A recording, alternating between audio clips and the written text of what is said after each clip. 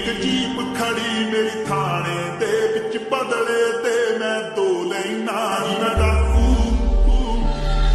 ਨੀ ਮੈਂ ਡਾਕੂ, ਇੱਕ